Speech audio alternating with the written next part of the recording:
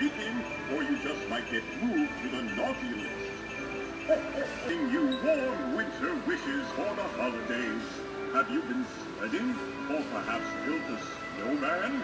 The elves and I cheer and goodwill this year. I have a feeling I know what you'd like for Christmas, but you'll just have to wait and see what gifts await you on that. I hope you have a happy and healthy new year.